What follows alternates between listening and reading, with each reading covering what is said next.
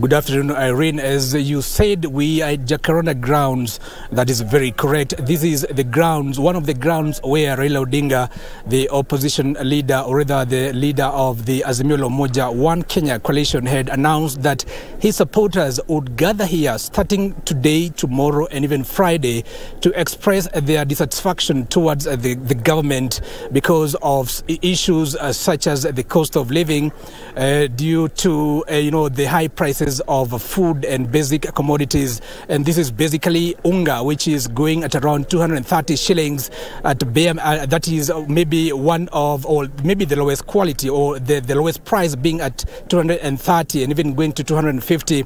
Of course, they're raising issues because of the fuel, uh, which uh, the which uh, the Finance Act, you know, rose it to the VAT from 8% to 16%, and it saw EPRA raise the pure prices of fuel to about 192 shillings.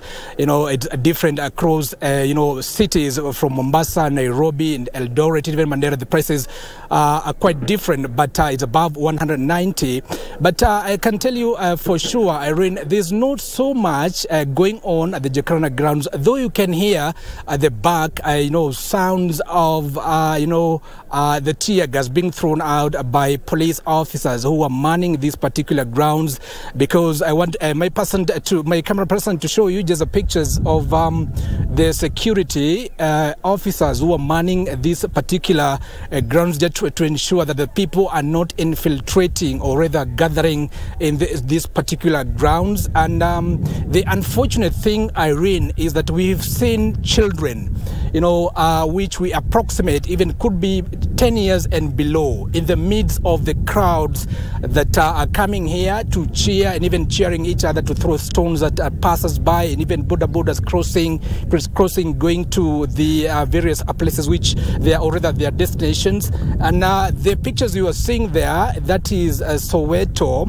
uh, which is uh, uh, bordering these uh, particular grounds. And of course, the opposite side uh, is Donholm, which is uh, we've, we've, just passed there by a few minutes ago. It was very peaceful. And of course, the Jacaranda Estate is also neighboring, neighboring these particular grounds. And of course, the Greenspan Estate, quite a peaceful. But the youth who are trying to maybe throw a stone or two to the police, are trying to provoke them, you know, and engage in a cat and mouse kind of a game. That is just what is happening. But uh, there's nothing much, but uh, maybe it's still early, Irene we just uh, keep on, you know, uh, staying here and uh, keeping tabs for you just because of our viewers to inform them what could happen.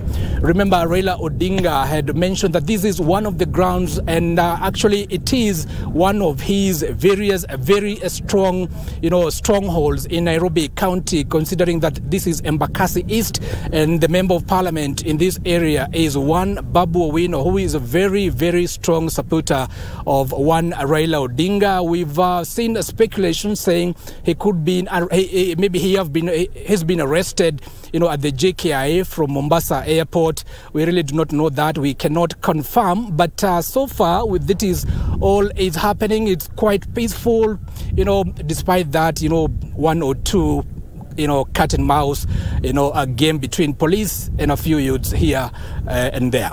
Back to Erin.